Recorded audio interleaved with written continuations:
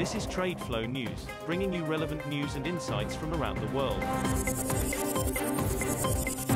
Trade Flow News, enabling trade for SMEs and economies worldwide. These are some of the key topics that we will be looking into in today's program.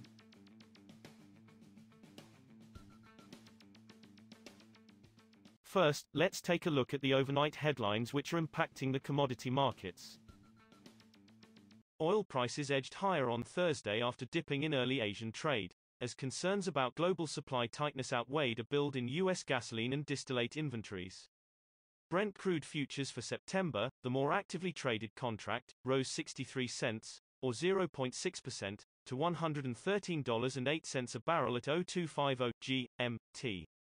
The less liquidly traded August contract, which expires Thursday, was at $116.08, down 18 cents, or 0.2%. U.S. West Texas Intermediate WTI crude futures climbed 49 cents, or 0.5%, to $110.27. OPEC Plus enters a second and final day of meetings on Thursday with sources saying the group is unlikely to decide imminently to pump more barrels to the market beyond August. At its last gathering in early June, OPEC Plus decided to raise output each month by 648,000 barrels per day, BPD, in July and August, compared with a previous plan to add 432,000 barrels of oil per day over three months. OPEC Plus consists of the Organization of the Petroleum Exporting Countries and allies such as Russia.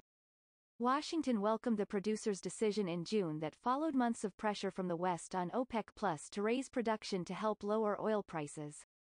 Moving on to the top news in the energy sector. Global nuclear power capacity needs to double by mid-century to reach net zero emissions targets and help ensure energy security as governments try to reduce their reliance on imported fossil fuels. The International Energy Agency, IEA, said on Thursday. Several countries aim to achieve net zero emissions by mid-century, a target scientists say could give the world a chance of capping temperature rises at 1.5 degrees Celsius above pre-industrial levels. Amid the current global energy crisis, governments are also looking to reduce reliance on imported fossil fuels to ensure their energy security. The Biden administration's first sale of oil and gas drilling rights on federal land garnered thin industry interest on Wednesday while environmental groups filed two separate lawsuits seeking to invalidate the results. The sales, which will continue on Thursday and cover eight states, were viewed as a test of oil industry demand for federal acreage amid soaring fuel prices and calls from President Joe Biden to increase domestic output.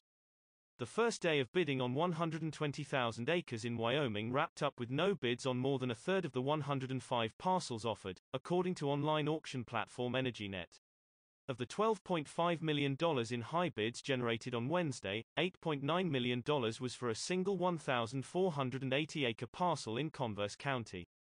Next, we have the top news in metal markets. Copper prices slipped on Thursday and were set for their biggest quarterly percentage drop since March 2020, hit by worries about a potential recession following a series of interest rate hikes and a slowdown in demand due to lockdowns in top consumer China. Three-month copper on the London Metal Exchange was down 0.4% at $8,371.50 a ton, as of 0437 GMT. The contract has fallen more than 19% so far this quarter. The most traded August copper contract in Shanghai was flat at 63,940 yuan, $9,555.69, a ton by the midday break. Dalian and Singapore iron ore futures fell on Thursday and were on track to post a quarterly loss due to persistent demand worries for the steel-making ingredient in top steel producer China. The most traded iron ore for September delivery on China's Dalian Commodity Exchange dropped as much as 2.7% to 787 yuan a ton, after four straight sessions of gains, stretching its quarterly loss to about 11%. On the Singapore Exchange, iron ore's front-month July contract was down 1% at $121.55 a ton as of 0341 GMT, and on pace to mark its third consecutive monthly fall. We will now look at the top news in the agricultural sector. Malaysian palm oil futures were set on Thursday for their biggest monthly drop since October 2008, even though prices rose nearly 1% for the day as top producer Indonesia considers raising its biodiesel mandate.